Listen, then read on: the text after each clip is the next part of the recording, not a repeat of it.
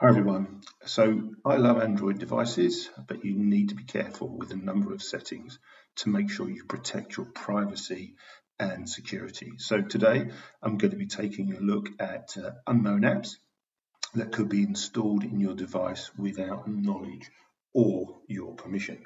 So go to your Android phone, open up the settings as I, as I have here, go into apps and notifications, scroll to the bottom where it says special app access, click on that and then have a look for install unknown apps. Click on that and here you'll see a list of devices and the status as whether these apps can install another app without your permission or even your knowledge. So it's one thing that you install an app that you love and want, that's great.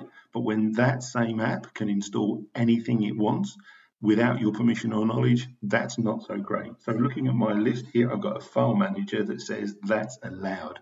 This app can install an app that I haven't given it permission to do.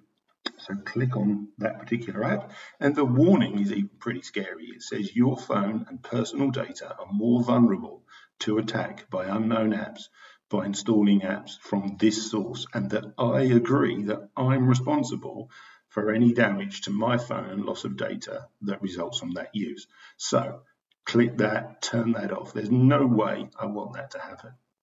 In my opinion, these settings should be off by default who wants to have a, an app that can just install anything it wants? Who knows what that app's going to do? What data it's going to steal from your phone? You just do not know.